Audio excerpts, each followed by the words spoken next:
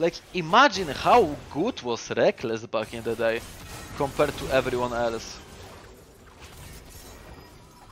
When that guy was legit the best AD carry in EU by fucking far while playing Sivir mostly.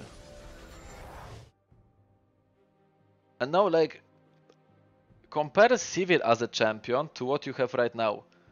To Kai'Sa, to Zeri, to even Xayah. Like, you see what I'm going with it, right?